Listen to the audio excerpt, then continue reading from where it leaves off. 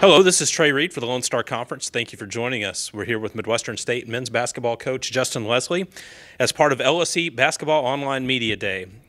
Welcome, coach, and look forward to the conversation as always. No, thanks, Trey. Looking forward to it. In each of the last two seasons, the Mustangs made a strong push to close the season and reach the Lone Star Conference postseason tournament.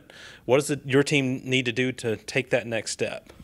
Well, I mean, I think for us, it's just continue to stay the course. Uh, we've steadily improved each of these last two years, and it started with just getting good young men, talented players that fit who we are on and off the court, and uh, and we've been making that progress. Um, you know, I'm, I'm excited for you know what we have in store this year. Uh, there's a lot of opportunity in front of us that uh, you know we're looking forward to take advantage of. And kind of in the same light, Coach, uh, the Mustangs were picked sixth out of 17 teams in the 2021-22 Lone Star Conference preseason poll. What does your team need to do to exceed those expectations?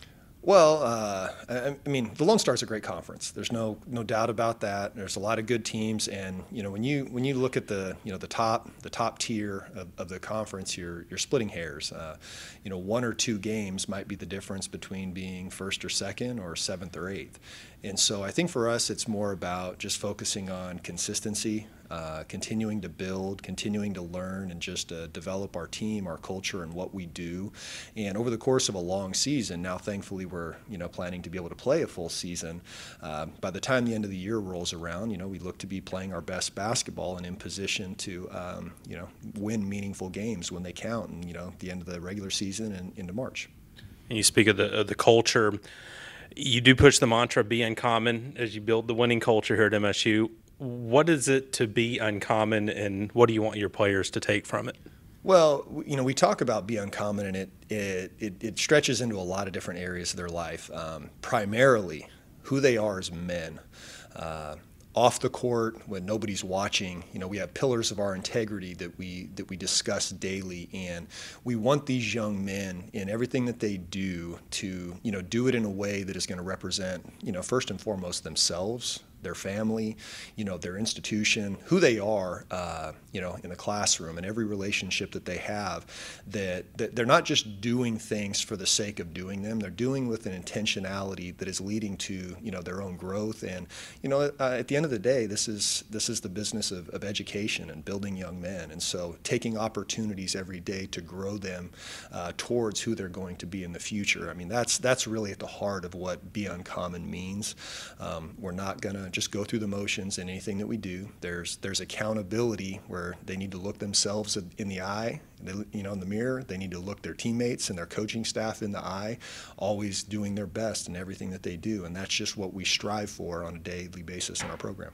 So now, with a couple years under your belt here at Midwestern State, uh, you have, especially with the COVID year, you have a lot of uh, a lot of returners. Uh, how how does that help you having that kind of um, veteran uh, buy-in to to your system and, and knowing who you are and what you want at this point? Sure. Well, uh, you know the old, I mean, kind of trick that that I've always uh, subscribed to is you know get old and stay old and uh, you know we're starting to get uh, some older, more mature players in our program. Um, just just in terms of years, you know we have a couple guys now that are 21, 22 years old, which makes a big difference just in terms of their uh, ability to sustain uh, their level over the course of a long season.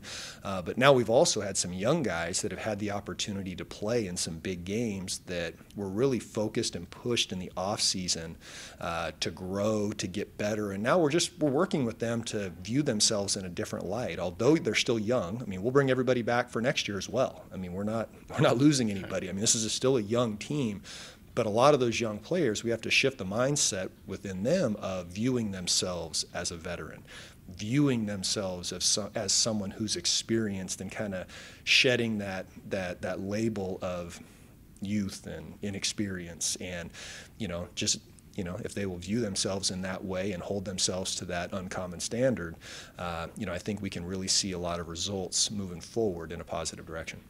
Thank you, Coach. Looking forward to an, another great year. Thanks, Trey. You're watching the LSC Basketball Online Media Day on LoneStarConference.org.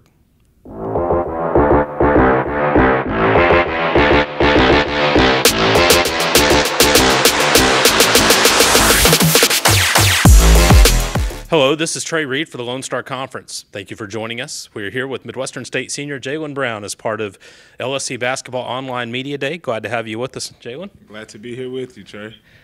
So, Jalen, the Mustangs closed the last two seasons on a high note, reaching the Lone Star Conference quarterfinals in both years. You have a lot of returning teammates and a lot of exciting newcomers, but what excites you most about this team heading into the season? Uh, well, right now I feel like we're starting to flow as a team, one one unit. I feel like everyone's starting to understand what we're trying to do and things that we're trying to accomplish on the defensive end, offensive end. And I feel like if we can continue to just click and communicate the right way and stay the course and trust the process, we'll be good. Definitely looking forward to the season. But looking into the year, MSU was picked sixth out of 17 teams heading into the 21 22 Lone Star Conference postseason poll. What does your team need to do to exceed those expectations? Uh, play our game, play our basketball, and just continue to believe in each other, like I was saying, and in what coach has for us and what we need to do. I think that some of our returning guys understand what we have to do and some of the tasks at hand. And as long as we could do what we need to do, our newcomers will, of course, be behind us 100% with it. Okay. Coach Leslie pushes the mantra "Be uncommon," and that reaches everything from on the court to off the floor. What does that mean to you, and how does that impact your time as a Mustang and as a as a student athlete here at Midwestern State? Well, being uncommon, well, like it sounds uncommon, we do uncommon things. But being uncommon for us is just like, of course, trying to be positive at all times and do the right thing when no one is looking.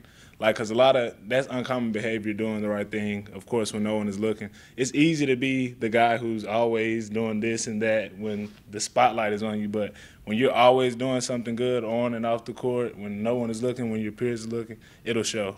And that is exactly what we do by being uncommon.